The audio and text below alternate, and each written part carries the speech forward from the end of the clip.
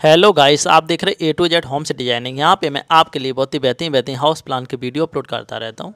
आज मैं प्लान लेके आया हूँ जिसका साइज़ है बाईस बाई तीस। फ्रंट इसका बाईस फीट दिया, लंबाई इसकी तीस फीट रखी है, जिसमें आपको ग्राउंड फ्लोर में कार पार्किंग के साथ में two B K house plan complete देखेगा। उसके ऊपर भी आपको two B K house plan complete देखेगा।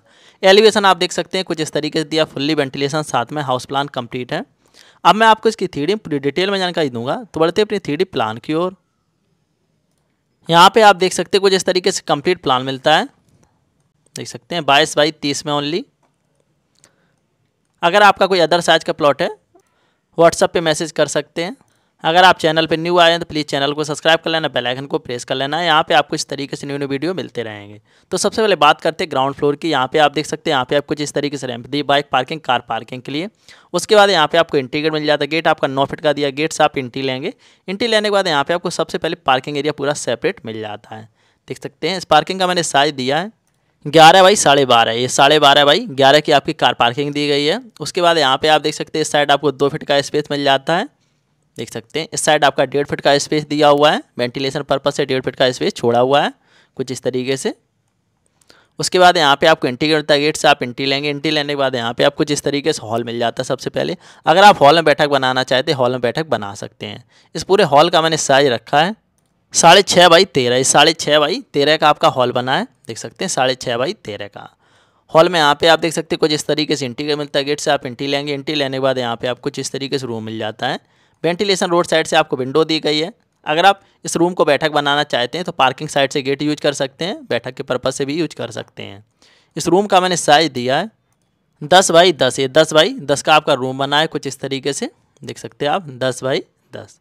उसके बाद यहाँ पे आप देख सकते हैं, हॉल में यहाँ पे कुछ इस तरीके से ओपन किचन मिल जाती है। किचन के वेंटिलेशन इस साइड से आपको विंडो दी है, किचन का फुल्ली वेंटिलेशन होता रहेगा। वेंटिलेशन कोई आपको प्रॉब्लम नहीं होगी। इस किचन का मैंने साइज़ रखा छः बाई साढ़े छः ये छः बाई साढ़े छः की आपकी किचन दी गई है। उसके बाद यहाँ पे आप देख सकते हैं, यहाँ पे आपको कुछ इस तरीके जीना मिल जाता है। जीना आपका तीन फुट का दिया कंप्लीट जीना आपका कुछ इस तरीके से बना हुआ पूरा। जीने के नीचे यहाँ पे आप देख सकते हैं, कुछ इस तरीके से इंटीग्रेट मिलता है। गेट से आप इंटी लेंगे। इंटी लेने के बाद यहाँ पे आपको लेटिंग बाथरूम कम्बाइंड मिल जाती है, जो कि जीने के नीचे बनी है। काफ़ी अच्छा खासा स्पेस मिल जाता है लेटिंग बाथरूम के पर्पज़ से। उसके बाद यहाँ पे आपको जिस तरीके से इंटीग्रेट मिलता है गेट से आप इंटी लेंगे। इंटी लेने के बाद यहाँ पे आपको काफ़ी बड़ा रूम मिल जाता है।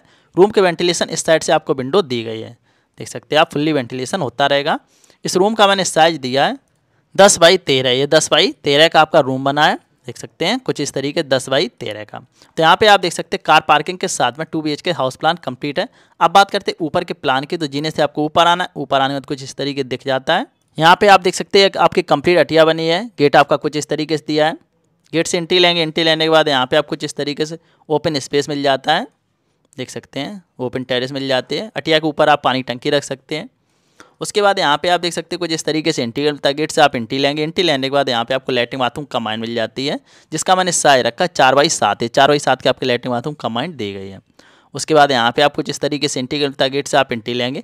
इंटी लेने के बाद यहाँ पे आपको रोड साइड से रूम मिल जाता है। जैसा कि यहाँ पे आप देख सकते हैं वेंटिलेशन कुछ इस तरीके से विंडो दी गई वेंटिलेशन कोई आपको प्रॉब्लम नहीं होगी। इस रूम का मैंने साइज़ रखा दस बाई दस है। दस बाई दस का आपका रूम बना हुआ है। उसके बाद यहाँ पे आप देख सकते हैं कुछ इस तरीके से इंटीग्रेट मिलता है गेट से आप इंटी लेंगे। इंटी लेने के बाद यहाँ पे आपको जिस तरीके से रूम मिल जाता है। रूम के वेंटिलेशन दोनों साइड से आपको विंडो दी गई रूम का फुल वेंटिलेशन होता है वेंटिलेशन कोई आपको प्रॉब्लम नहीं होगी। बालकनी आने जाने कुछ इस तरीके से इंटीग्रेट दिया हुआ है। यहाँ पे आपको सेपरेट बालकनी दी है।